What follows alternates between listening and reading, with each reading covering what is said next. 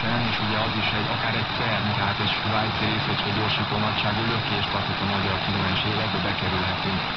Ö, nyilván talán itt még nem ekkora a lépték, de